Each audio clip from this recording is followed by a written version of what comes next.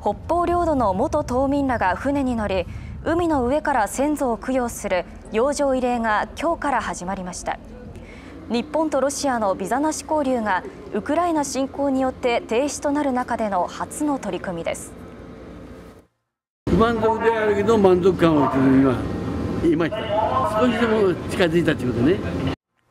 初日の今日は悪天候のため根室港に引き返す途中の会場で慰霊を行いました。